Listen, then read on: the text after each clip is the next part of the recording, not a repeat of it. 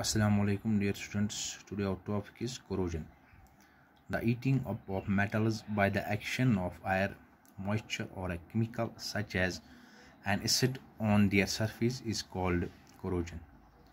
Most of the metals corrode when they are kept exposed to damp air or moist air. For example, iron metal corrode when kept in damp air for a considerable time. When an iron object is kept in damp air for a considerable time, then a red-brown substance, substance called rust is formed on its surface. Rust is soft and porous and it gradually falls off from the surface of iron object and then the air below starts corroding. Thus, corrosion of iron is a continuous process which ultimately eats up the whole iron object. The corrosion of metal is a highly undesirable process.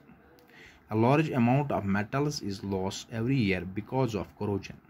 In general, the most reactive metal is the most readily it corrodes. Thank you.